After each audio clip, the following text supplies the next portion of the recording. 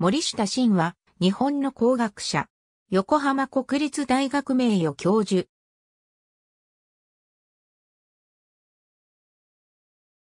専門は、機械力学、応用力学。第97期日本機械学会会長。元国立大学法人横浜国立大学理事、副学長。一般社団法人日本クレーン協会会長。公立大学法人新潟県立大学理事。千葉県生まれ。1973年千葉県立千葉高等学校、卒業。1978年、横浜国立大学工学部造船工学科卒業。板垣博教授に疲労寿命に関する卒業研究指導を受ける。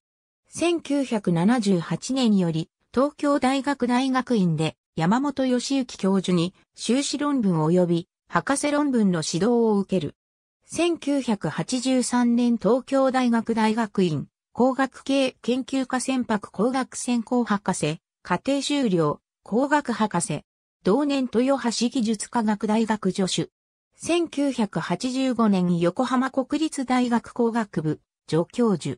1990年プリンストン大学のプロフェッサー。正信篠塚の指導の下で、ビジティングフェロー。1991年より、東京大学生産技術研究所の裏、関研究室及び、木村義継研究室にて研究員。1991年、マサチューセッツ工科大学のプロフェッサー、スティーブン・クランドルの指導の下で、ビジティングサイエンティスト。